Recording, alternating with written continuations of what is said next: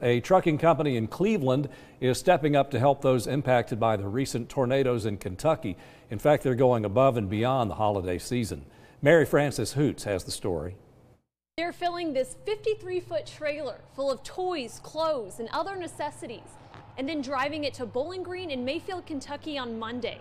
They want it to be a boost for tornado victims after Christmas. BoZac Transportation in Cleveland is partnering with Eastview Ministries to collect donations for families impacted by the deadly tornadoes that wiped out towns in Kentucky. Came to me and said that he was going to take some stuff up, and we got discussing uh, possibly getting more. This project took off, becoming bigger than they imagined. The community's generosity has shown through and they believe they will be able to fill this entire trailer with the donations they collect. We're going to take everything and anything people would like to donate clothes, diapers, baby food, non perishable foods, toys.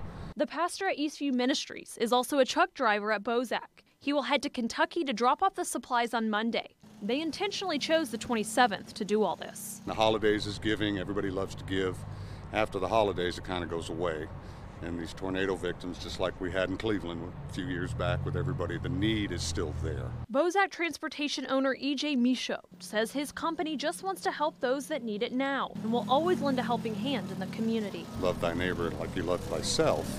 And the biggest thing is we need to get self out of the way and just love thy neighbor. Michaud also wants to remind drivers to be patient and polite as you see truckers on the highways during the holidays. They'll be working Christmas Day. They work 365 days a year to, to, to bring the goods and services to, to folks in this great country. Right now, it's about a third of the way full and they need your help to fill it all the way up. So if you would like to donate, you can come by BoZac Transportation in Cleveland and drop off items, or you can call them and coordinate a pickup. We have all those specific details inside this story in our app and on our website.